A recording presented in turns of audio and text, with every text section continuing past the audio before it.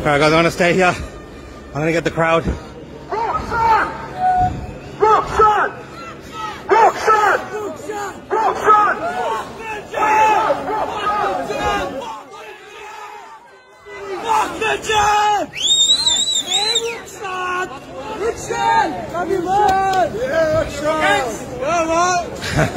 Stop the tyranny.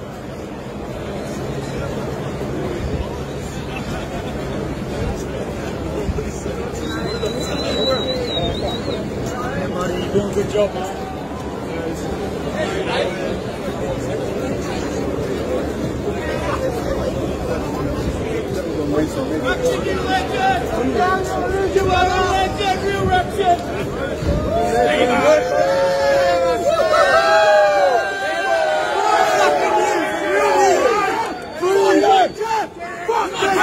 Fuck!